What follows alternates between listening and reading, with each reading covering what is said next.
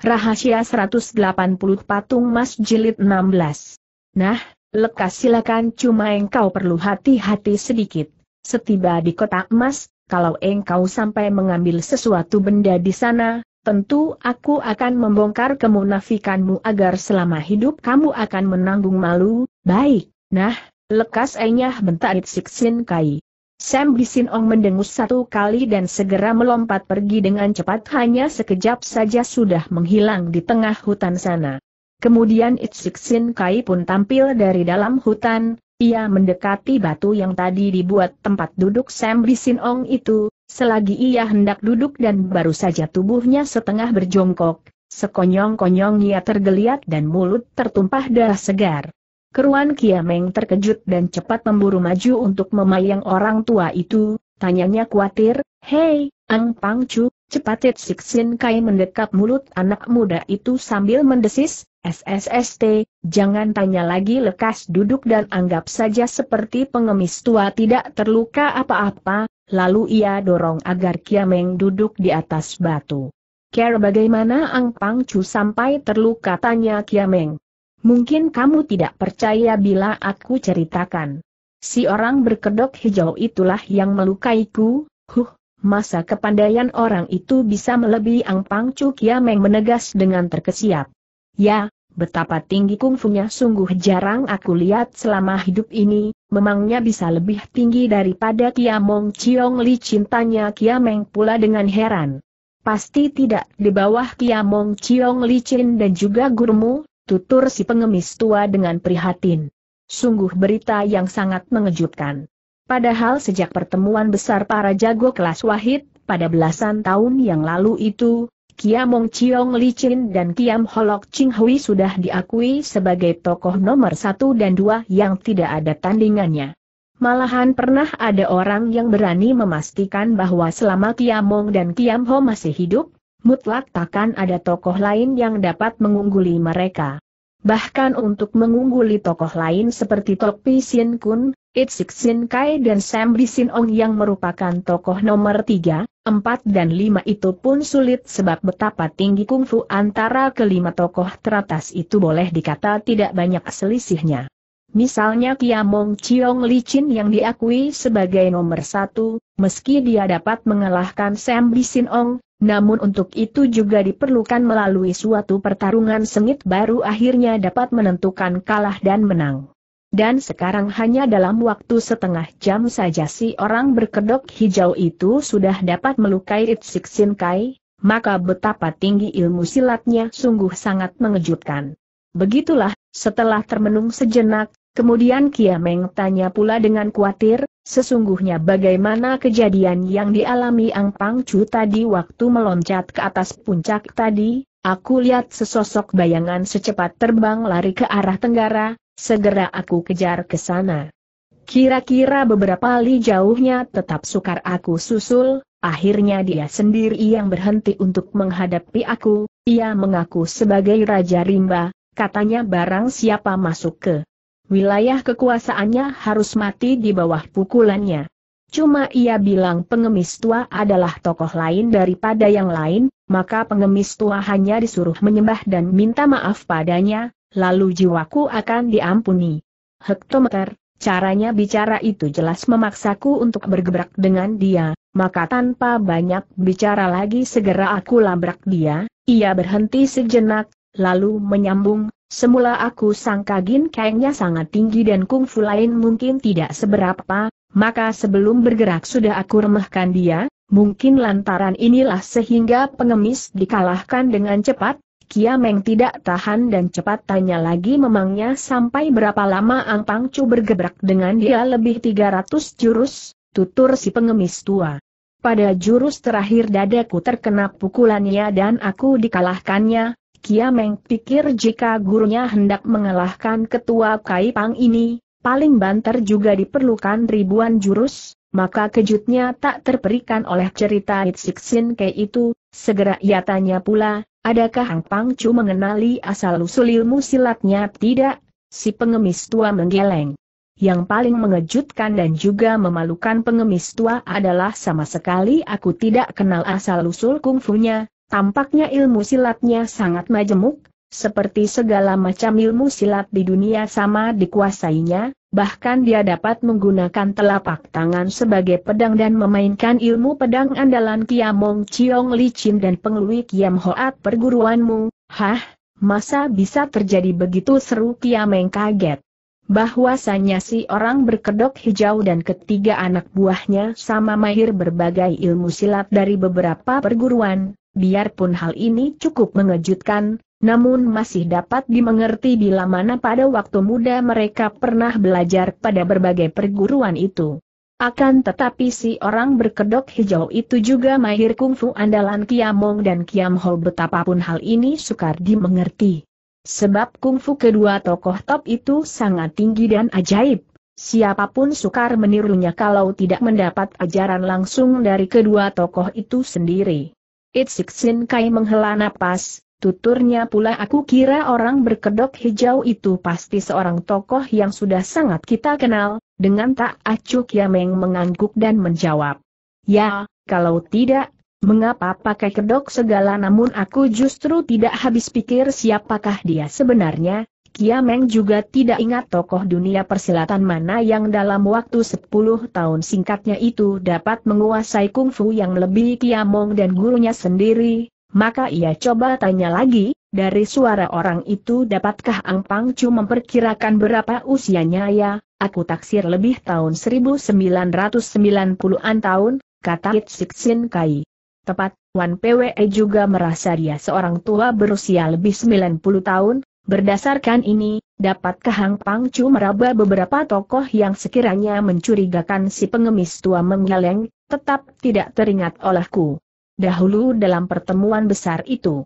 Tokoh pilihan yang hadir seluruhnya aku kenal dengan baik dan tiada satu pun di antaranya, perlu dicurigai, sebab orang mampu atau tidak mencapai sukses latihan kungfunya, pada umur tahun 1930-an sudah dapat dipastikan. Selewatnya umur 30, kalau tidak ada penemuan istimewa, rasanya sukar mencapai kemajuan yang berarti. Dan bila orang berkedok hijau itu dahulu pernah hadir dalam pertemuan besar para ksatria itu, waktu itu usianya tentu juga sudah tahun 1950-an, dan dilihat dari kepandaiannya sekarang, waktu itu seharusnya dia sudah mampu menandingi Kiamong dan Kiam Ho, ya, jika dia sebenarnya seorang kosen yang suka mengasingkan diri, sekarang dia sengaja muncul secara mendadak di dunia persilatan, Mengapa pula dia tidak berani memperlihatkan wajah aslinya kepada umum kata Kiameng. Betul, makanya aku pun tidak mengerti. Ketiga anak buahnya juga mempunyai kepandaian yang hebat, tadi kalau Sam Ong tidak menggunakan granat asap pedas, mungkin tidak akan dikalahkan lawan, oh, orang berkedok hijau itu ada tiga anak buah si pengemis tua menegas dengan terkesiap.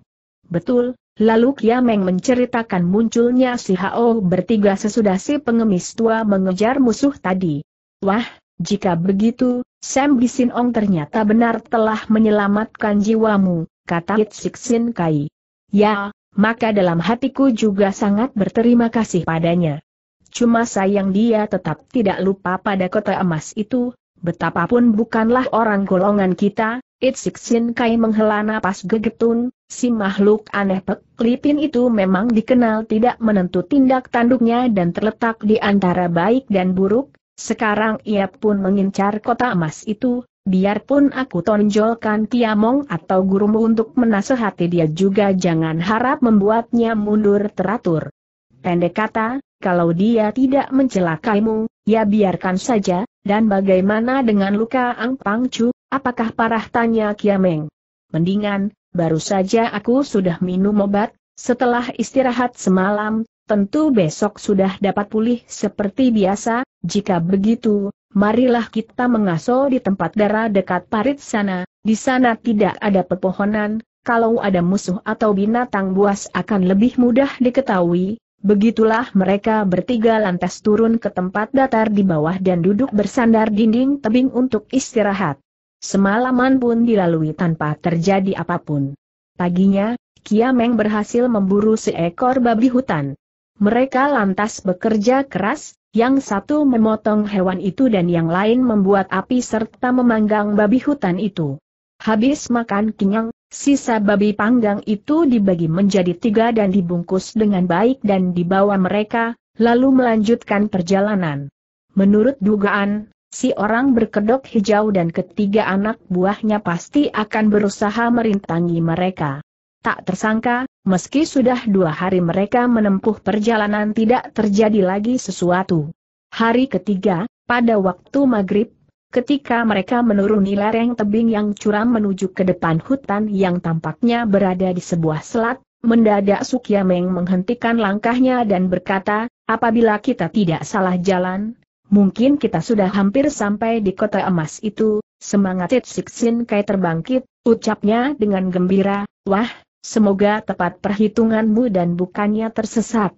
Sungguh runyam bila terus-menerus kita harus menelusuri rimba purba yang lebat dan banyak binatang buas ini, segera Kiameng mendahului memimpin ke depan dan masuk ke hutan yang terletak di tempat datar itu. Tidak seberapa jauh, tiba-tiba terasa dingin dan lembab luar biasa di dalam hutan, bahkan ada semacam bau busuk yang memualkan dan sangat menusuk hidung, ia tahu kembali ada gas racun lagi. Cepat ia berhenti dan mengeluarkan pil yang disimpannya dalam baju, disodorkannya kepada Hitsik Sin Kai dan Kalina setiap orang satu biji, ia sendiri juga minum satu biji. Di tempat ini di mana-mana ada gas racun, kalau tidak membawa obat anti gas racun, mungkin sangat sulit untuk mencapai kota emas itu, Tanya Kiameng. Dahulu, care bagaimana suhengmu mencapai kota emas? Tanya si pengemis tua. Sebelum suhengku mencapai kota emas dia sudah kaca total, dia bawa ke sana oleh ayah Nonaka dan beberapa suku Peih yang baik hati mungkin suku bangsa Peih itu juga paham care menghindari gas racun, maka dapat mencapai kota emas dengan aman. Sembari bicara ia melanjutkan lagi ke depan. Setelah beberapa puluh meter lagi, tiba-tiba dari dalam hutan di depan sana sayup-sayup terdengar suara rintihan yang lemah. Terkesiap hati Kiameng, ia menoleh dan mendesis, coba dengarkan, Ang Pangcu, agaknya di depan ada orang, Itsik Sin Ke coba mendengarkan dengan cermat, lalu katanya dengan lirih, dari suaranya seperti seorang sakit yang mendekati ajal, Cuma sangat mungkin pula sesuatu perangkap yang diatur oleh si orang berkedok hijau, biarlah pengemis tua memeriksa dulu ke sana, habis berkata ia terus maju ke arah suara itu. Hutan sangat lebat dan rapat, untuk lalu di situ hampir setiap kali harus memiringkan tubuh, pula hutan tidak tembus cahaya matahari, maka hanya sebentar saja si pengemis tua sudah lenyap dalam kegelapan. Kiameng melolos pedang dan mengawal di samping Kalina, ia tahu semakin mendekati kota emas, semakin besar pula bahaya yang akan dihadapi. Bila mana si orang berkedok hijau itu hendak merintangi dia mengambil Jian Lian Hok Leng, jelas orang takkan membiarkan dia masuk ke kota itu dengan aman. Kiameng pasang mata, telinga dengan cermat, ia tunggu sebentar dengan diam, Tiba-tiba terdengar suara Itsik Sin Kai di depan sana, Sulate, bolehlah kalian maju kemari segera Kiameng menarik Kalina dan menuju ke arah suara, setelah menerobos hutan yang rimbun, sekilas terlihat Itsik Sin Kai berdiri di samping seorang tua berbaju hijau, ia sangka si orang berkedok hijau telah dibekuk, dengan girang ia memburu maju tapi setelah dekat dan diamati baru diketahui si kakek baju hijau ini adalah Lo Holi Cukat Leng. Huh, dia seru Kiameng kaget. Apakah dia keracunan dan akan mati keadaan Lo Holi Cukat Leng memang tampak payah, si rase tua yang biasanya disegani orang Kangowo itu sekarang mukanya tampak pucat dan sinar mata buram, dengan kempas-kempis menggeletak di bawah pohon, agaknya memang sudah dekat dengan ajalnya. Kiameng coba berjongkok dan memeriksa orang tua itu, katanya kemudian, Loholi, apakah engkau terkena gas racun? Wajah Loholi kelihatan kaku, mulut setengah menganga, hanya terdengar suara ahus saja dan sukar untuk bicara.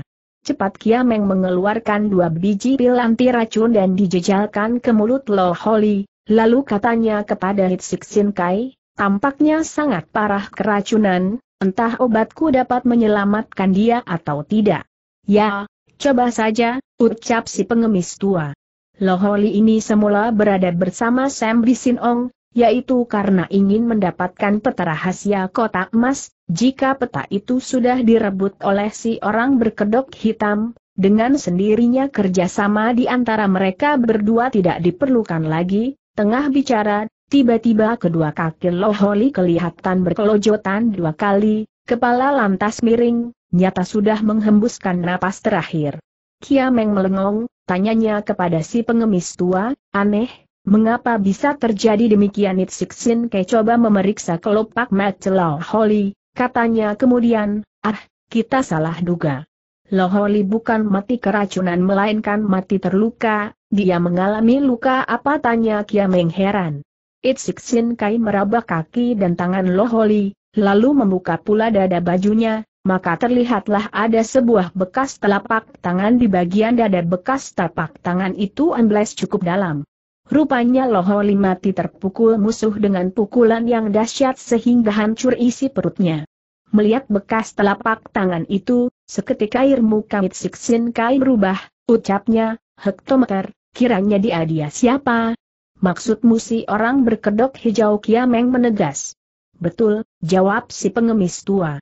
Waktu aku juga kena pukulannya, keadaan serupa Loholi, tapi isi perutku tidak sampai tergetar hancur, Kungfu Loholi meski di luar ke sepuluh tokoh terkemuka zaman ini, tapi bicara tentang tipu akal dia justru nomor satu di dunia. Tak tersangka dia juga tidak dapat lolos dari pukulan maut si orang berkedok hijau, ucap Kiameng dengan gegetun. Cuma kalau bicara tentang tingkah lakunya, kematian Loholi tidak perlu disayangkan, ujar Itsik Sin Kai. Mengingat sesama orang persilatan, biarlah kita mengubur dia, ajak Kiameng sambil melolos pedang. Dengan sendirinya Itsik Sin Kai tidak membantah, kedua orang lantas menggali liang untuk mengubur Loholi. Inilah mayat keenam yang kita kubur sejak memasuki rimba raya ini, ucap Kiameng dengan menyesal. Semoga selanjutnya takkan terjadi lagi, ini sukar dipastikan, bukan tidak mungkin esok akan menjadi giliran kita, si pengemis tua tersenyum getir. Kiameng terdiam sebentar, tanyanya kemudian. Lain kali bila memergoki dia, umpamakan kita berdua mengerubut dia, menurut perhitungan Ang Pangcu dapatkah mengalahkan dia tidak? Paling banter hanya dapat menandingi dia dengan sama kuat saja, jawab si pengemis tua. Wah, jika begitu, jelas kita pasti akan kalah, sebab dia masih ada tiga anak buah yang sangat liai, ujar Kiameng.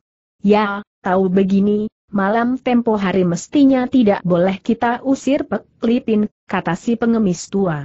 Meski dia juga bukan tandingan si orang berkedok hijau, namun dia memiliki Yan Moutan untuk menghadapi si HOU bertiga tentunya tidak menjadi soal, baru habis ucapannya, sekonyong-konyong ada orang bergelak tertawa di belakang mereka, hahaha, jika begitu ucapan Ang Pangcu, biarlah aku perlihatkan diri lagi, Jelas itulah suara Sam Bisin Ong.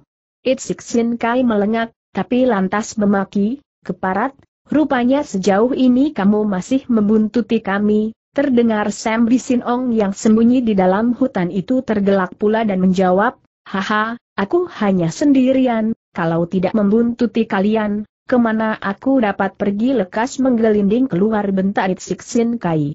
Maka terdengarlah suara gemersek daun pohon, lalu Sam Bisin Ong melompat turun dari kelebatan pohon, katanya sambil memberi hormat kepada si pengemis tua, Ang Pangcu, sekarang kita sedang menghadapi musuh tangguh, selanjutnya kita perlu bekerja sama jika ingin pulang ke Tionggoan dengan hidup, maka jangan lagi Ang Pangcu suka marah-marah padaku, Asal saja kamu Pek Lipin tidak melulu mementingkan diri sendiri saja tentu aku pun tidak perlu banyak omong, baiklah kan sejak mula sudah aku katakan mau membantu Sukiameng mengambil Jian Lian Hok kata Sam Bisin Ong.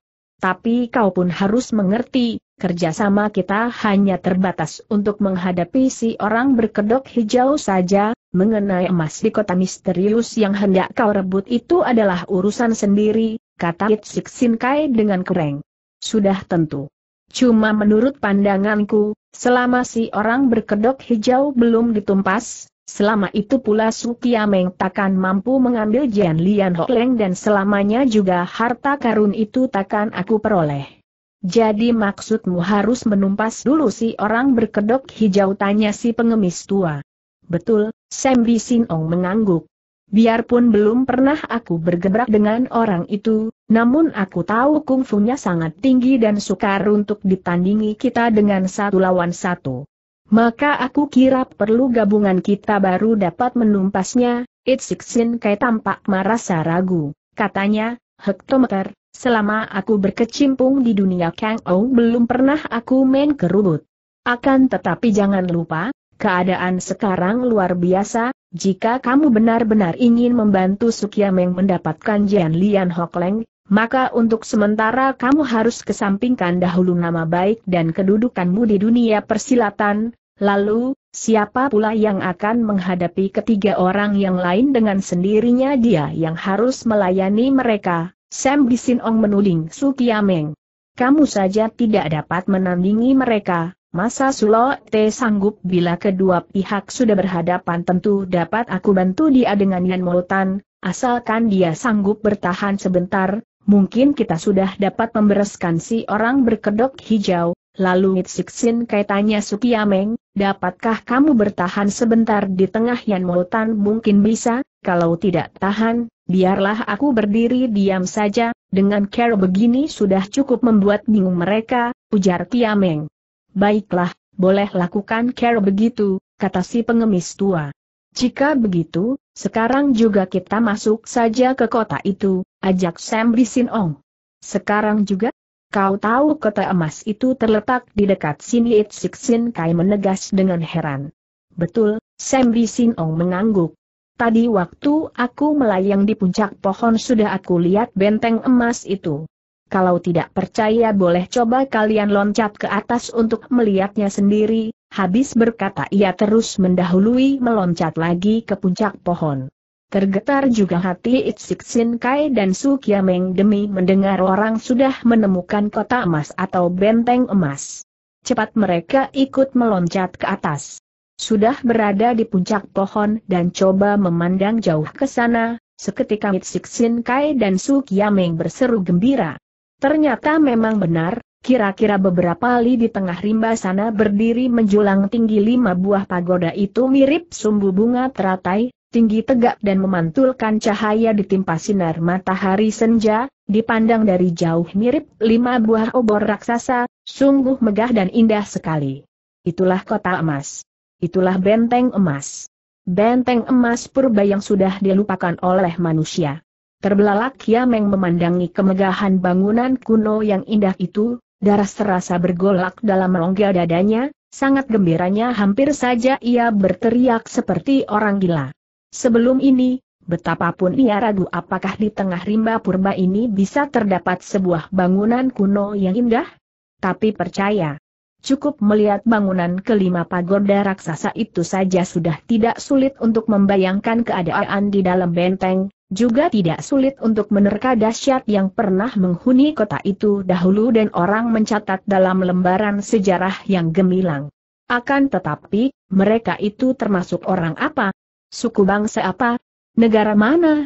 Mengapa pula mereka bisa punah? Kiameng termenung sampai lama dan ingin menemukan setitik jawaban. Setelah memandang sejenak, tiba-tiba Hitsik Sin Kai berpaling dan tanya Sam Ong, Pek Lipin, jika kota emas itu sudah kau temukan, mengapa kamu tidak datang sendirian ke sana? Hehe, sebabnya aku dapat hidup panjang umur sampai sekarang, yang utama adalah karena aku selalu waspada dan hati-hati. Jawab Sam Ong dengan tertawa. Aku yakin si orang berkedok hijau pasti bersembunyi di sana untuk menjebak mangsanya, oh, maka kau perlu cari beberapa pembantu begitu tanya si pengemis tua. Betul. Sebaiknya bila kalian tidak aku bantu sama juga bahayanya, betul tidak Itsik Siakai tidak menanggapi lagi, ia lompat turun dan berseru, ayo berangkat mumpung hari belum gelap, marilah kita masuk ke benteng itu ketiga orang lantas melompat turun ke bawah. Segera Rit Sin Kai dan Sam Bisin Ong mendahului berangkat disusul oleh Su Kiameng dan Kalina. Setelah meneruskan perjalanan dua tiga li, mendadak hutan lebat di depan menghilang yang muncul di depan mereka adalah sebidang tanah rumput yang lapang dan seperti pernah diolah manusia. Dan bangunan raksasa yang misterius tadi kini pun sudah terlihat jelas di depan tanpa halangan apa pun. Terlihat di bawah kelima pagoda raksasa itu ada benteng kurung sepanjang dua li dipandang dari jauh seperti berlapis-lapis dan berderet-deret, Sungguh sangat megah. Cuma benteng batu raksasa ini tampaknya tidak mirip sebuah kota melainkan lebih mirip sebuah puri raksasa. Selagi mereka berempat memandang dengan terkesima, lebih-lebih Kalina, wajahnya tampak pucat dan tubuh pun gemetar. Kiameng memegang tangan si Nona dengan erat, katanya lirih dengan menahan perasaan sendiri yang bergolak, jangan takut, Nonaka, masa tidak kau rasakan betapa indah bangunan benteng kuno ini dengan gemetar Kalina menjawab, kabarnya, kabarnya kota emas ini pernah, pernah dimantrai oleh setan iblis, barang siapa masuk ke sana pasti akan mati. Apakah benar kalian hendak, hendak masuk ke sana jangan percaya pada obrolan yang menyesatkan itu, ujar Kiameng tertawa. Bukankah ayahmu dan suhengku pernah masuk ke sana, kemudian juga sama pulang dengan selamat tapi sesudah pulang ayahku pernah jatuh sakit payah dan hampir saja meninggal, tutur Kalina. Sam Bisin Ong melirik si Nona sekejap dengan rasa geli, lalu berkata kepada Kiameng, Sulote, tampaknya suhengmu pernah berdosa juga, apa maksudmu tanya Kiameng dengan melengak. Bahwa bangunan ini sebuah benteng kuno memang tidak salah, namun jelas bukan dibangun dengan emas seperti cerita Suhengmu itu, apakah menurut bayanganmu, kau kira kota emas ini dibangun dengan emas murni, tukas It Siksin Kai. Muka Sam Ong agak merah, jawabnya, ya, mungkin yang dimaksud dia adalah ke-180 patung dan puri yang dibangun dengan lantakan emas, semuanya terdapat di dalam benteng kuno, Kiameng menunjuk bangunan raksasa itu dan bertanya, Menurut pandangan Ang Pangcu, bangunan itu lebih tepat disebut benteng atau puri aku pun tidak mengerti, jawab si pengemis tua. Kalau dibilang benteng, ternyata tidak ada tembok bentengnya, dikatakan puri, nyatanya ada parit yang mengelilingi bangunan raksasa itu. Sam Bisinong mendahului jalan ke depan, katanya, peduli kelenteng atau benteng, marilah kita periksa ke sana dan semuanya akan jelas, setelah melintasi sebuah parit pelindung benteng yang lebarnya beberapa meter, lalu menelusuri sebuah jalan sepanjang beberapa ratus meter, kemudian mereka mendaki tiga tingkat panggung batu yang datar dan luas, lalu mendaki lagi banyak undak-undakan batu, akhirnya mereka berada di depan pintu gerbang bangunan yang bukan benteng dan bukan puri ini. Baru sekarang mereka dapat melihat jelas, bangunan bukan benteng dan bukan puri ini disusun oleh batu-batu raksasa, dinding dan lantai penuh ditumbuhi lumut dan rumput, sebuah pagoda tinggi yang tepat menghadap pintu gerbang tingginya hampir 100 meter, dipandang dengan menlongak dapat membuat orang pusing kepala dan mata berkunang-kunang. Kedua samping gerbang adalah dua serambi yang luas dan lurus, panjangnya ada satu li, pilar batu yang besar berjajar dan sukar dihitung jumlahnya. Meski di mana-mana sama tertutup oleh lumut dan debu, namun samar-samar terlihat jelas bangunan raksasa ini pernah mengalami masa jayanya yang gemilang. Hampir di mana-mana terdapat ukiran timbul gambar malaikat dan setan. Mereka tidak berani langsung memasuki pintu gerbang itu, lebih dulu mereka meninjau di sekitar serambi dan melihat pilar dan dinding juga banyak terukir gambar timbul bidadari, semua gambar bidadari itu diukir telanjang bulat, hanya bagian kepala memakai topi bunga yang entah apa namanya, leher pun pakai hiasan kalung dan bagian pinggang memakai gaun yang terbuat mirip benang atau rumput. Cuma gaya ukiran bidadari itu tampak sangat indah, semuanya bergaya seperti lagi menari, kelihatannya sangat suci dan anggun, tiada tanda-tanda cabul setitik pun. Aha, tempat ini tentu bekas sebuah puri raksasa untuk upacara adat kata Litsik Sin Kai sambil berhenti. Sam Bisin Ong dan Su Kiameng sama mengangguk dan menjawab, betul, tempat ini memang sebuah puri tempat upacara sembahyang, bahkan berani aku katakan bahwa inilah puri upacara sembahyang yang terbesar sejak dulu sampai sekarang, ucap si pengemis tua dengan himat. Wah, melulu sebuah puri saja dibangun sebesar ini, maka dapat dibayangkan betapa hebatnya keseluruhan kota emas ini, ujar Sam Bisinong dengan gegetun.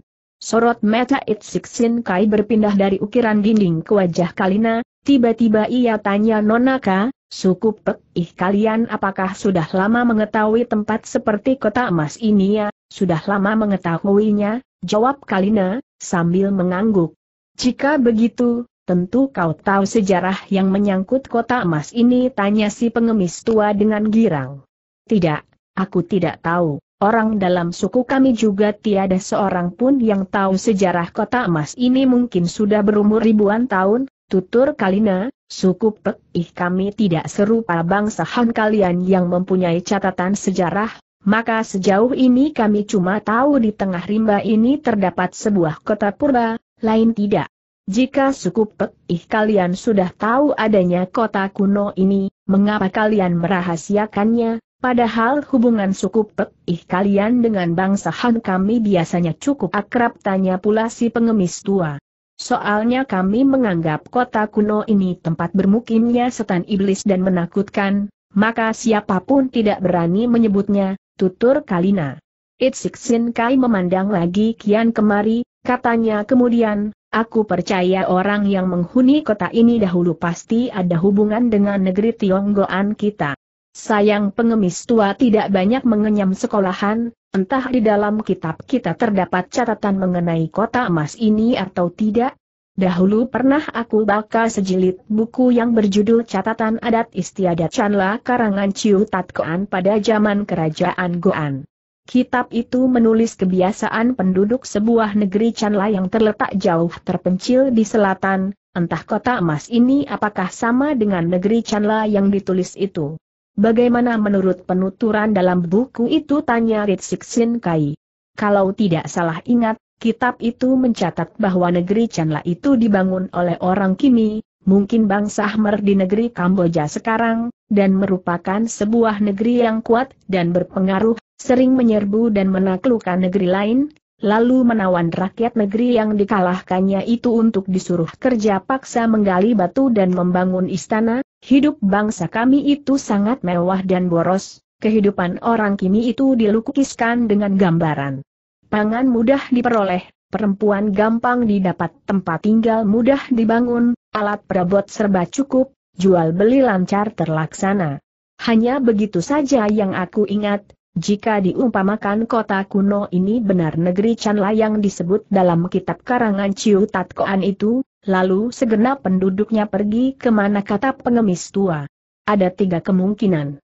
Pertama, karena kejayaan orang kini itu akhirnya menimbulkan iri negeri lain yang juga sama kuatnya dan akhirnya orang kini tertumpas habis. Kedua, mungkin terjadi semacam penyakit menular sehingga segenap rakyat negeri ini mati semua. Ketiga, mungkin terjadi pemberontakan kaum budak yang disuruh kerja paksa itu, Segenap orang kini terbunuh habis, lalu semua harta benda negeri Chanla dirampok habis dan dibawa kabur entah ke mana, betul, Itsik Sin Kai mengangguk. Dan kota kuno yang megah ini lambat laun pun terkubur oleh rimba raya, lama-kelamaan urusan negeri ini pun terlupakan orang, sembari bicara mereka sambil menikmati ukiran dinding serambi, kata pula si pengemis tua dengan bersemangat. Apa pun juga, yang jelas bangunan ini adalah sebuah kota purba yang luar biasa. Coba kau lihat ukiran timbul pada dinding ini takkan habis kita tinjau selama beberapa hari, apakah Ang Heng bermaksud menikmati ukiran indah ini selama beberapa hari, apakah Ang Heng bermaksud menikmati ukiran indah ini selama beberapa hari? Tanya Sam Bisin Ong dengan tertawa. Tidak, beberapa hari saja tidak cukup, jawab Sin Kai harus aku nikmati dengan perlahan dan aku pelajari dengan teliti sehingga seluruh pelosok kota kuno ini, tapi aku kira, urusan yang paling penting sekarang adalah mencari Jian Lian Leng dan emas yang ingin aku dapatkan itu, tukas Sam Bisin Ong dengan tergelak. Baiklah, Coba kita lihat dulu ke dalam puri raksasa ini, kata Itsik Sin Kai.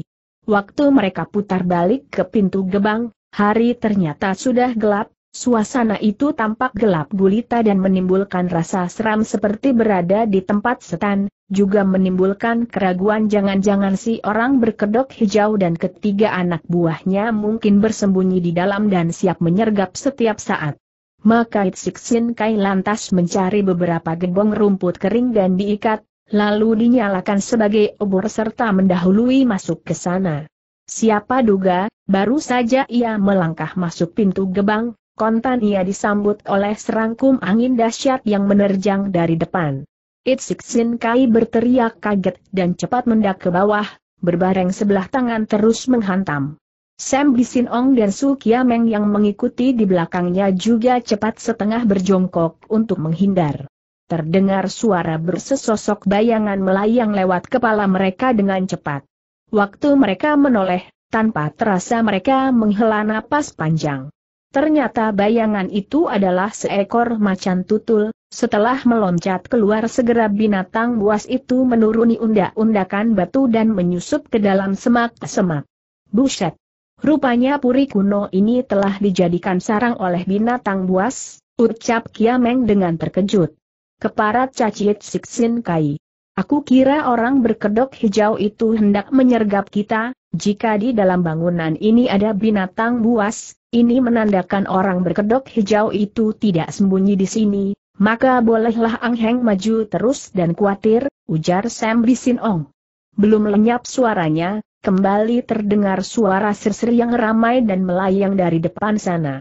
Kembali si pengemis tua berteriak, semua lekas mundur, ini kawanan kelelawar cepat mereka melompat mundur ke serambi di luar, terlihat kawanan kelelawar berterbangan bergerombol terbang ke udara di luar gerbang yang gelap. Begitu banyak jumlah kelelawar itu sehingga serupa asap yang mengepul dari cerobong. Sampai sekian lama baru kawanan kelelawar itu habis terbang keluar.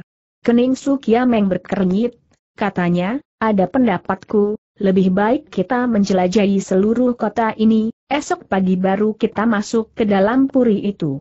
Dengan begitu rasanya akan lebih aman, ya, aku kira begitu lebih baik, sahut Siksin Kai setuju. Meski Sam Bisin Ong sangat ingin lekas menemukan ke 180 patung emas, tapi ia pun merasa kurang aman bila harus mencarinya dalam kegelapan. Maka ia tidak membantah, segera mereka berempat menuju ke sebelah kanan melalui serambi yang panjang itu. Setelah menelusuri serambi yang panjangnya hampir satu li itu dan memblok ke kanan, akhirnya mereka dapat mengitari puri raksasa itu. Di belakang puri juga hutan yang lebat, ketika mereka memasuki hutan, Ternyata di dalam hutan juga banyak bangunan dari batu, yang mengherankan adalah banyak rumah batu itu sama terkurung oleh akar pohon raksasa. Itu menandakan bahwa sudah ribuan tahun tidak terdapat manusia di situ sehingga akar pohon pun tidak pernah ditebas, maka bangunan itu pun ditelan oleh tetumbuhan alam yang mirip jari-jari setan iblis itu. Setelah menelusuri hutan sekian jauh, Kembali mereka menemukan banyak rumah berhala yang megah dan jalanan yang lebar, cuma sebagian besar pun sudah terdesak oleh tetumbuhan liar sehingga berubah menjadi tumpukan puing. Di dalam kota purba ini masih ada lebih 50 buah pagoda dan 200-an patung kepala manusia itu hampir sama, semuanya memakai topi berujung runcing dan tingginya belasan meter, semuanya diukir dari batu raksasa. Itsik Sin Kai terheran-heran, katanya, patung kepala manusia sebanyak ini entah melambangkan apa aku kira patung kepala manusia ini merupakan ukiran kepala para raja yang pernah ikut membangun kota kuno ini, dia memerintahkan kepalanya diukir, maksudnya untuk memperlihatkan wibawa dan kekuasaannya, ujar Kiameng. Jika benar begitu, maka raja yang berkuasa di sini pasti tokoh yang berwatak keras dan tentu juga lalim, Sam Bisin Ong tampak celingukan kian kemari dan berkata, aneh, sudah sekian jauh kita mengitari tempat ini, mengapa tidak terlihat sebuah bangunan yang terbuat dari emas? Itsik Sin Kai memandangnya dengan mendongkol, terhadap segala apa yang terdapat di dalam kota kuno ini, Selain emas apakah tiada sesuatu lagi yang menarik bagimu sudah tentu aku pun tertarik oleh kota purba ini, Sam Bisin Ong menyengir. Cuma kedatanganku dari jauh ini, tujuan yang utama kan jelas adalah untuk mendapatkan emas. Hu jengek si pengemis tua dengan jemu dan segera melangkah lagi ke depan sambil berkata kepada Kiameng, Sulate, mari kita coba melihat ke tempat lain, mereka berempat lantas menyusuri kota kuno itu tanpa tempat tujuan, sampai setengah malaman ternyata belum lagi mengelilingi seluruh kota itu. Wah, luas amat tempat ini, seru si pengemis tua. Entah perlu berapa lama untuk bisa menjelajahi. Seluruh kota kuno ini jika kota ini merupakan suatu negara, mungkin diperlukan perjalanan beberapa hari baru dapat menjelajahi seluruh tempat ini, ujar Tiameng. Kalau begitu, kota kuno ini tentu dapat memuat ratusan ribu penduduk, kata Itsiksin Kai. Bila benar kota kuno ini adalah negeri Chanla yang dimaksudkan Ciu Tatkoan dalam bukunya itu, maka penduduknya bisa mencapai satu juta, kata Kiameng. Wah, ini kan jauh lebih besar daripada kota raja di negeri kita ucap si pengemis tua sambil menjulur lidah. Akan tetapi apakah kota kuno ini benar negeri Cala dahulu atau bukan, hal ini tidak berani aku pastikan, kata Kiameng pula dengan tertawa. Aku yakin pasti benar negeri Chanla dahulu, kalau tidak masakah ada kota sebesar ini ujar Itsiksin Kai. Sembari bicara mereka sampai di depan setumpuk puing. Mendadak Sam Bisin Ong menarik Itsiksin Kai dan membisikinya, awas, di tengah puing itu bersembunyi musuh Kiameng dan Itsiksin Kai terkejut dan serentak berhenti sambil tanya, kau lihat orang sembunyi di sana ya, Sam Bisin Ong mengangguk. Baru saja aku lihat sebuah kepala orang mengeret ke balik tembok onggokan puing sana, apakah si orang berkedok hijau dengan tegang Kiameng ikut tanya. Entah, terlampau cepat kepala orang itu mengeret ke balik tembok, tak sempat aku lihat jelas siapa dia, jawab Sam Bisin Ong. Itsiksin Kai mendosis, biarlah kita bertindak menurut rencana, Sulote melindungi Nona dan pengemis tua dan Pek Lipin menghadapi musuh, segera Sam Bisin Ong mengeluarkan tiga buah Yan Molutan dan diserahkan kepada Sukiameng, katanya lirih, aku beri tiga Yan Molutan ini, kalau musuh memperlihatkan diri, setiap seminuman teh boleh aku lemparkan sebuah granat berasap ini dan aku jamin kalian takkan berhalangan. Kiameng menerima ketiga granat berasap itu dengan ucapan terima kasih. Segera Itsik Sin Kai dan Sam Bisin Ong tertunduk ke depan dan mengepung puing tembok itu dari dua jurusan. Hanya sekejap saja bayangan mereka sudah menghilang di balik kerimbunan pohon. Perlahan Kiameng melolos pedang dan berdiri rapat di samping Kalina. Ia tahu setiba di kota kuno ini, kalau kepergok si orang berkedok hijau adalah kejadian yang sudah terduga. Cuma yang membuatnya tenang adalah kungfu lawan sesungguhnya terlampau tinggi, pula orang sangat apal terhadap segala sesuatu di kota purba ini, berdasarkan kungfu dan keuntungan tempat, untuk mengalahkan Itsik Sin Kai dan Sam Bisin Ong rasanya juga bukan mustahil, apalagi si orang berkedok hijau masih ada tiga anak buah yang langsung, maka Kiameng merasakan pertempuran yang bakal terjadi ini akan merupakan suatu pertarungan antara hidup mati.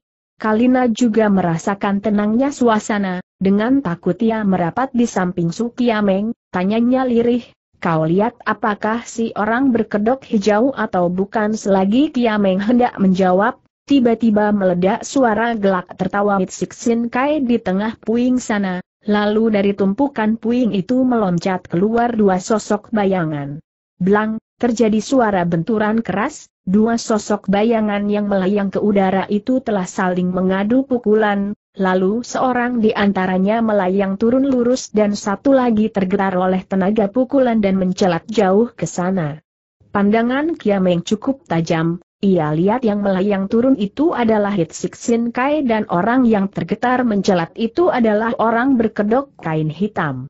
Keruan ia kegirangan dan berseru, ahaha, kiranya dia. Sembari bersuara segera ia tarik Kalina dan berlari ke onggokan puing sana. Setiba di situ, Ternyata betul, orang yang terkurung di situ memang betul si orang berkedok hitam. Sekarang Nitsik Sin Kai berdiri di depan musuh dan Sam Bisin Ong berdiri di belakangnya. Jarak masing-masing ada 2-3 meter dan semuanya siap tempur. Si orang berkedok hitam itu serupa seekor serigala yang terperangkap, berulang dia celingukan kian kemari, agaknya ingin mencari jalan untuk lolos, sikapnya kelihatan sangat tegang dan gelisah. Melihat Kiameng memburu tiba, Itsik Sin Kai terbahak dan berkata, Sulate, inilah orang berkedok kain hitam yang menculik Suhengmu itu bukan dengan bersemangat Kiameng menjawab. Betul, memang dia ini dia memang sangat gembira. Sejak pihak lawan menculik Suheng dan Kalana, selama ini dia telah berdaya upaya untuk mencari tahu siapa pihak lawan. Akan tetapi pihak lawan terlampau licin, jejaknya misterius, caranya keji, semua itu tidak di bawah perbuatan si orang berkedok hijau. Namun sekarang tidak perlu pusing kepala lagi, pengganas yang menculik Suheng dan istrinya serta pembunuh para ketua Hoa Sanpai dan lain-lain itu kini sudah kelihatan belangnya. Mendengar jawab Kiameng tadi, segera Hitsik Sin Kai berpaling dan berkata kepada orang berkedok hitam. Nah, sobat, sekarang biarpun kamu tumbuh sayap juga sukar terbang lagi. Kenapa tidak buka saja kedokmu agar kita bisa saling kenal si orang berkedok hitam tidak menjawab, mendadak kaki melejit, secepat kilat ia melayang ke sebelah kiri. Akan tetapi, baru saja ia bergerak, Sam Bisin Ong yang berdiri di belakangnya tahu-tahu sudah menubruk tiba, tongkat berkepala ular terus menebas pinggang lawan sambil berseru, Haha, apakah kamu ingin kabur begitu saja kawan tidak lemah juga orang berkedok hitam, tubuhnya yang mulai mengapung itu mendadak berjumpalitan dan melayang ke samping sehingga sabetan tongkat Sam Ong dapat dihindarkan. Lalu sebelah kakinya memanjat pilar batu yang tersisa di tengah puing itu, kembali tubuhnya melayang lagi ke sebelah kiri sana, nyata tujuannya hendak menyusup ke dalam hutan. Itsik Sin Kai tidak membiarkan orang lolos begitu saja, melihat care orang menghindari serangan Sambi Sin Ong segera ia tahu ke mana langkah lawan selanjutnya, maka sebelum si orang berkedok melayang ke hutan sana, lebih dulu sudah dicegat oleh si pengemis tua, pentung penggebuk anjing langsung mengemplang kepalanya. Terhadap musuh umumnya kemplangan pentung bambu Itsik Sin Kai itu biasanya tidak pernah meleset, maka terdengarlah suara plok, pundak kiri si orang berkedok hitam dengan tepat terpukul, kontan tubuhnya terbalik dan jatuh terbanting. Menyusul Sam Bisin Ong lantas memburu maju, tongkat kepala ular segera menutup sehingga Koh Ching Hiat lawan kena ditutupnya. Maka si orang berkedok hitam tidak dapat bergerak lagi. Kia Meng sangat girang, secepat kilat ia melompat ke sana dan menarik kain penutup muka lawan. Seketika ia pun menjerit, Hah, Ternyata kau ia menjerit dengan melengong. Ketika Itsik Sin Kai dan Sam Bisin Ong tahu jelas siapa orang berkedok hitam itu, mereka pun melongo sehingga tidak dapat bicara. Kiranya orang berkedok kain hitam ini tak lain tak bukan ialah Sai Ho atau Sim Tiong Ho adanya hal ini mungkin mimpi pun tak pernah terpikir oleh siapa pun. Siapa yang menyangka orang yang menculik Gak Siklem dan Kalana serta dua kali bermaksud mencelakai Su Kiameng dan hendak membunuh para ketua Hoa Sanpai dan lain-lain ternyata adalah si tabib sakti yang dipandang sebagai kawan yang paling terpercaya oleh Su Kiameng itu. Sekujur badan Su Kiameng terasa dingin bagai terendam air es untuk pertama kalinya ia merasakan manusia adalah makhluk yang paling menakutkan di dunia ini. Teringat olehnya untuk pertama kalinya ia bertemu dengan Sai Ho atau Sim Tiong Ho, ketika itu si tabib sakti sedang memancing ikan di tepi sungai, tampaknya serupa seorang pertapa yang jauh dari keramaian dunia. Wah, 180 patung emas, ada lagi bangunan kuil yang terbuat dari emas murni, care bagaimana menilai barang-barang itu hektometer, Engka Sai Atu juga tertarik bukan oleh harta karun itu ya, kalau saja kota emas itu dapat dikangkangi menjadi milik sendiri, maka jadilah aku orang kaya raya, memangnya siapa yang tidak tertarik itulah percakapan yang terjadi dahulu antara Wiholojin dan Sai Ho Sim Tiong Ho. Waktu itu Kiameng menyangka mereka hanya bergurau saja, siapa tahu si tabib sakti benar-benar tertarik oleh harta karun. Oleh karena bertekad akan ikut berebut kota emas, maka Sai Hoatu telah berperan menjadi dua tokoh yang berbeda. Di satu pihak ia membantu usaha Kiameng dengan nama dan wajah asli Sim Tiong Ho, di lain pihak ia menyamar sebagai orang berkedok hitam untuk membuntutinya, pada waktu Kiameng membunuh Ihwan Hui dan Gutong dulu, dia bersama Telong dan Osem lantas menyerbu ke penjara di bawah tanah. Ia gunakan granat berasap untuk membawa lari Gak Siklem suami istri. Kemudian, mungkin Gak Siklem tidak mau mengaku letak kotak emas, maka dia sengaja membiarkan dirinya diculik anak buah Topi Sin Kun dan bermaksud merebut peta kotak emas, akhirnya ia berbalik ditolong oleh Su Kiameng. Begitulah makin dipikir makin gemas hati Kiameng, mendadak ia cengkeram Sai Hoatu Sim Tiong Ho dan membentak, Bagus sekali perbuatanmu, orang sisim muka Sim Tiong Ho tampak merah padam, ia pejamkan mata dan tidak mau bicara.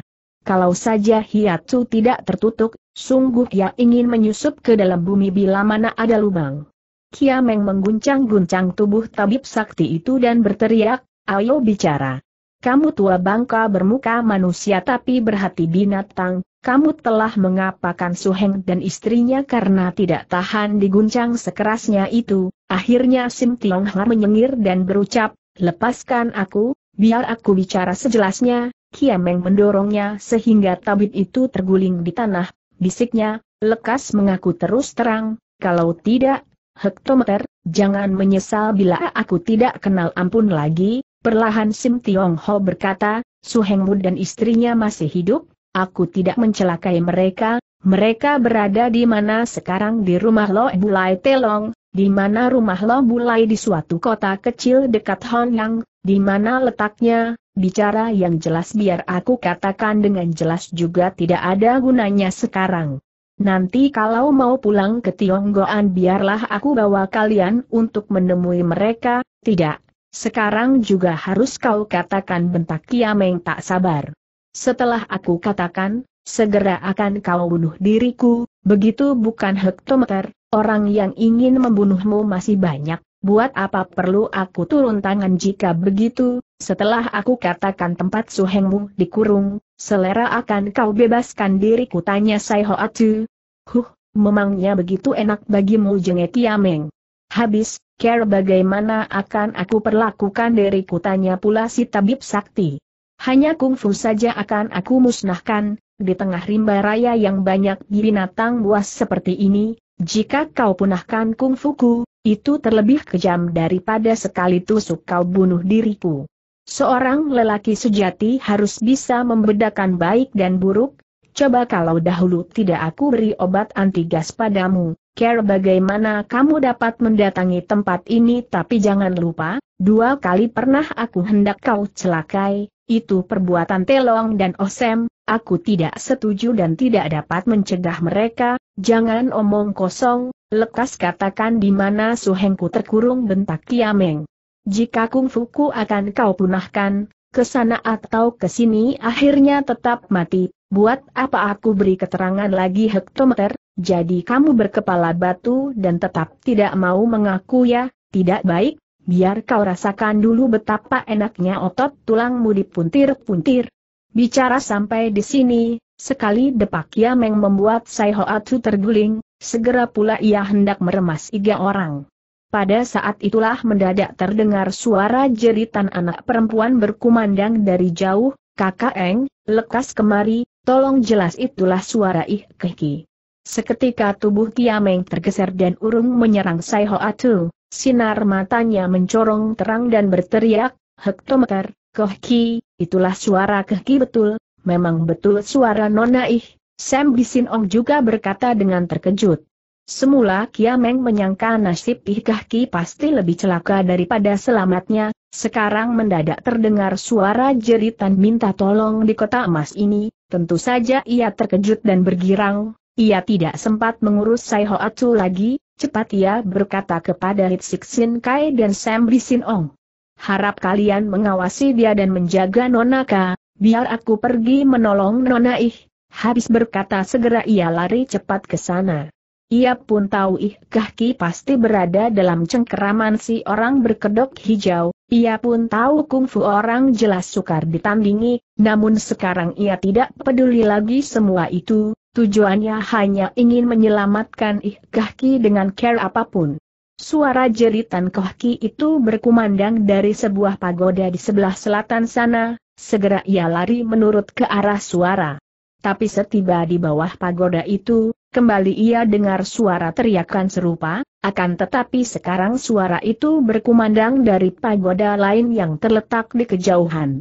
Segera pula Kiameng lari ke pagoda itu, baru beberapa puluh meter ia lari, tiba-tiba terdengar ada orang mengejar dari belakang, cepat ia lolos pedang dan menahan diri, sedikit mendak, sekonyong-konyong pedang menebas ke belakang.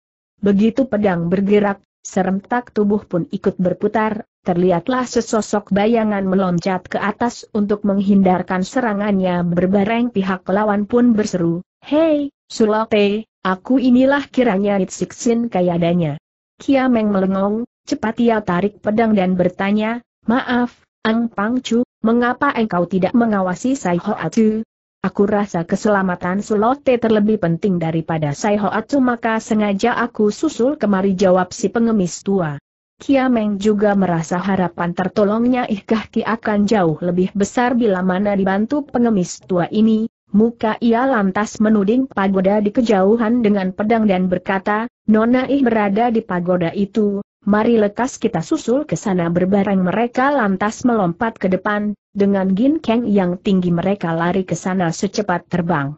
Hanya sebentar saja mereka sudah sampai di bawah pagoda yang dituju, waktu mereka mendongak, terlihat tinggi pagoda itu ada 40-50 meter, pada sebuah jendela mendekati tingkat teratas terlihat si orang berkedok hijau berdiri di sana dengan memondong ih keki.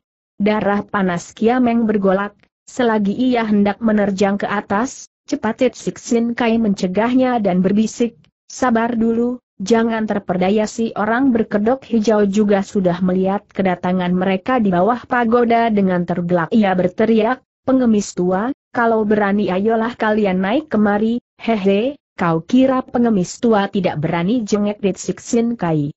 Kalau berani, ayo, coba saja sahut si orang berkedok hijau.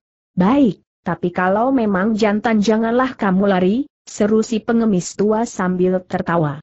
Kembali si orang berkedok hijau terbahak-bahak, hahaha, lari atau tidak itu kan urusanku jika kalian dapat menangkap diriku barulah terhitung liai, Itsiksin Kai tidak menanggapi lagi ia mendesis terhadap Su Kiameng, boleh kau tunggu saja di bawah sini biar pengemis tua yang naik ke sana untuk melabraknya, kan lebih baik aku ikut bersama Ang Pangcu ujar Kiameng dengan lirih. Tidak, kau jaga saja di bawah pagoda jika dia melompat turun tentu dapat kau cegat dia, dengan begitu baru dia tidak sempat kabur, habis berkata ia taruh tikar bututnya, dengan memegang pentung penggebuk anjing segera ia melangkah ke pintu pagoda.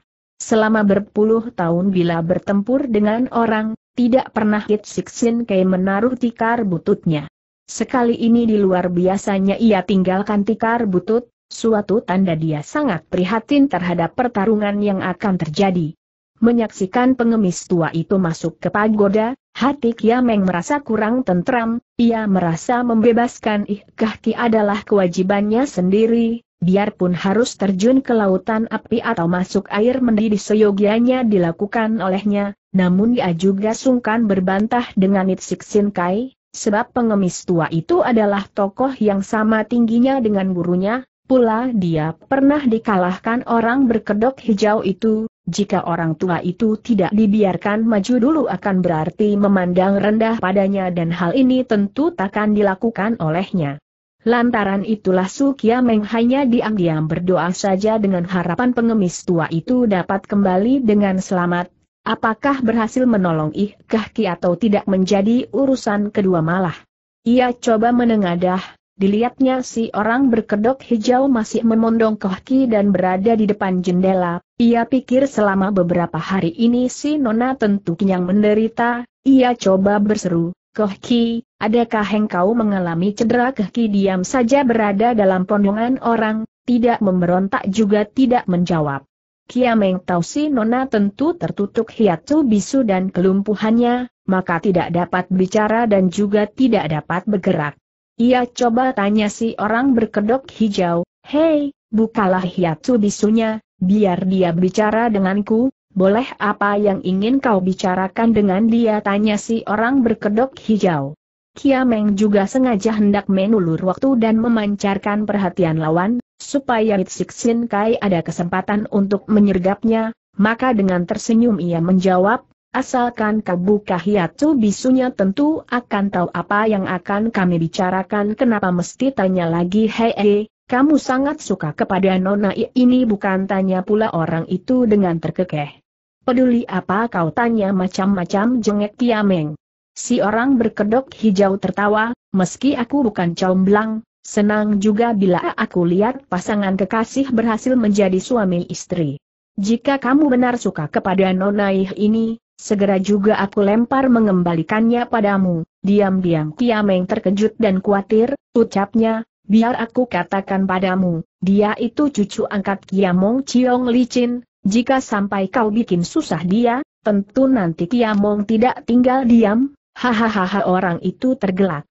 Kiamong Chiong Licin itu terhitung barang apa, masakah hendak kau gunakan namanya untuk menggertak padaku hektometer, kungfumu memang hebat, tapi hanya pandai membikin susah seorang nona, terhitung orang gagah macam apa itu jengek Kiameng. Ya, benar juga ucapanmu, biar aku lemparkan kembali nona ini kepadamu, seru si orang berkedok dengan tertawa. Habis berkata, kedua tangannya mendorong keluar dan ih ki benar-benar dilemparkannya. Tenaga lemparannya cukup kuat sehingga tubuh ih ki yang terlempar keluar pagoda itu serupa panah yang terlepas dari busurnya, dengan cepat meluncur ke hutan di belakang Sukiameng berdiri sana. Seorang biasa tanpa cedera pun kalau dilemparkan dari ketinggian seperti itu pasti juga akan terbanting mampus apalagi seorang yang hiatu tertutup dan tak bisa berkutik, kalau tidak cepat ditangkap tubuhnya, mustahil takkan terbanting hancur. Karena itulah Kiameng sangat terkejut ia menjerit khawatir dan secepat kilat melayang ke sana. Pada saat itulah terdengar suara bentakan Itsik Sin Kai di atas pagoda, menyusul terdengar pula suara tertawa panjang si orang berkedok hijau, nyata si pengemis tua sudah memburu sampai di atas pagoda dan mulai bergebrak dengan lawan. Namun yang paling mendebarkan hati adalah si pihak Sukya Mengsini, lantaran ih kaki dilemparkan dari tempat ketinggian dan jelas daya luncurnya sangat cepat, maka Kiameng tidak sanggup sekali loncat mencapai tempat ih kaki akan jatuh itu, maka baru saja ia memburu sampai setengah jalan sudah terdengar suara beluk yang keras, nyata ih kaki sudah terbanting ke tanah, di tanah pegunungan itu banyak batu yang tidak rata dan tajam, maka akibatnya dapat dibayangkan. Kiameng menjerit, hancur luluh hatinya. Ia menubruk ke samping ih dan dirangkulnya erat-erat sambil meratap, Kohki. Oh, Kohki tapi cuma dua kali saja ia berteriak dan mendadak ia berhenti dengan melongo. Ternyata orang yang berada dalam pangkuannya itu meski sudah terbanting hancur, jelas sudah mati, namun sekali pandang saja Kiameng lantas mengenalnya bahwa nona ini bukanlah Ikahki melainkan seorang gadis suku bangsa setempat yang memakai baju Ikahki. Hati Kiameng rada lega setelah mengetahui korban itu bukan Ihkeki. Ia tahu telah tertipu oleh akal si orang berkedok yang ingin memancingnya meninggalkan kawannya. Ia pun menyadari Etsiksin Kai tentu juga akan menghadapi bahaya, maka tanpa ayal ia taruh mayat gadis itu dan putar balik ke arah pagoda tadi. Tak terduga, baru saja ia sampai di bawah pagoda, dilihatnya Nitsik Sin Kai sedang datang dari depan, ia terkejut dan heran, cepat ia berhenti dan tanya, Hai, Ang Pang Chu tidak menyusul dia tidak, dia sempat kabur, tutur si pengemis tua sambil menggeleng kepala. Kiameng memandang ke atas pagoda dengan bingung, ucapnya kemudian. Pagoda setinggi ini, carrier. Bagaimana dia dapat kabur ia menggunakan Gin Kang maha tinggi dan melayang keluar melalui jendela, Ketika aku susul kemari sudah ketinggalan, tutur si pengemis tua dengan lesu. Lalu ia tanya dengan khawatir, bagaimana keadaan Nona Ih itu dia bukan Nona Ih melainkan seorang gadis suku setempat, ia hanya memakai baju Nona Ih, tutur Kiameng. Oh, apa maksudnya keparat itu main gila care begini ucap Itsik Sin Kai dengan melengak. Semula aku sangka orang itu pasti memasang perangkap di dalam pagoda, sekarang Ang Pang Chu ternyata tidak mengalami sesuatu bahaya, mungkin yang akan celaka adalah Sam Bisin Ong malah, ya, betul, Pek Lipin mungkin akan disergap. Mari lekas kita kembali ke sana, seru si pengemis itu. Habis bicara segera ia mendahului lari ke tempat reruntuhan tadi. Kia Meng segera menyusul dengan kencang hanya sekejap saja mereka sudah berada kembali di tempat reruntuhan tadi. Terlihat Sam Bisin Ong masih berjaga ketat di depan Kalina dengan memegang tongkat kepala ular, namun Sai Hoatu yang semula rebah di sebelahnya kini sudah tidak tampak lagi. Di udara situ masih mengepul asap hitam yang cukup tebal, jelas baru saja terjadi pertarungan sengit di situ.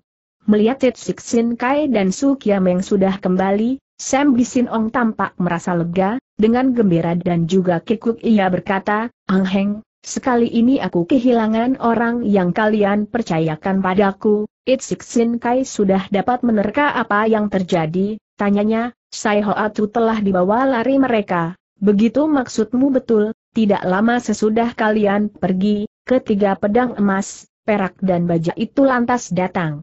Langsung aku ledakan Yan Moutan untuk melindungi Nona Kalina, siapa juga sasaran mereka bukanlah Nona ini melainkan Sai Hoatu Sim Tiong Ho. Ketika aku tahu maksud tujuan mereka, namun sudah nasib, Sai Hoatu sudah dibawa kabur, keparat, umpat Siksin Kai dengan gemas.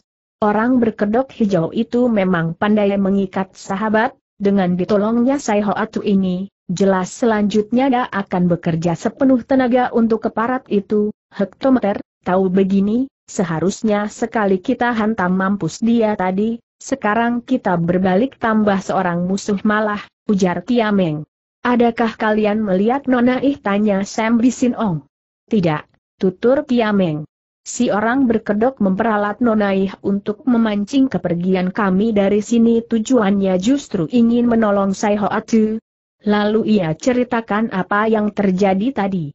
Air muka Sam Bisin Ong tampak prihatin, katanya, jika begitu, sekarang si orang berkedok hijau telah bertambah seorang pembantu Sai Hoatu kekuatannya sudah jauh di atas kita, tentu dia akan menghadapi kita secara terbuka, betul, maka kita harus lekas memikirkan care bagaimana menghadapi mereka, ujar Kiameng.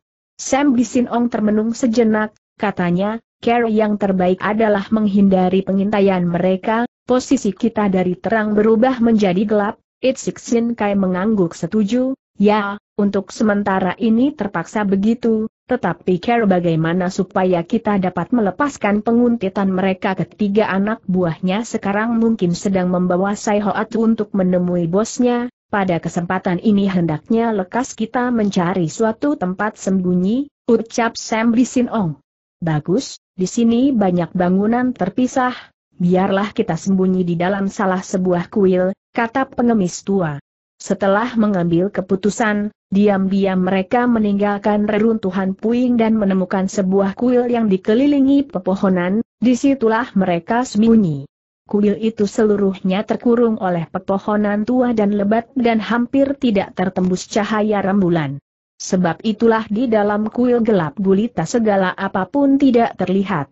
Untung di dalam kuil tidak bersembunyi binatang buas, mereka lantas duduk di ruangan tengah lantai terasa basah dan berbau tidak enak. Kalina bersandar erat di samping Sukiameng katanya dengan takut, apakah kita akan sembunyi terus di sini? Tidak, bisik Kiameng. Sesudah hari terang segera kita tinggalkan tempat ini, mencari Jian Lian Ho Leng tanya Kalina pula lirih. Kiameng mengangguk. Sesudah menemukan Jian Lian Ho Leng segera kita tinggalkan tempat ini kata Kalina. Baik, sekarang lekas kau tidur saja, jawab Kiameng. Aku tidak dapat tidur, ucap Kalina manja. Apakah kamu sangat takut? Tanya Kiameng tertawa. Kalina menggeleng, tidak, berada di sampingmu, apa pun aku tidak takut, setelah berpikir, Kiameng tanya pula, pada waktu siang hari, sendirian kau berani sembunyi di sini atau tidak mengapa harus sembunyi sendirian di sini, tanya Kalina malah.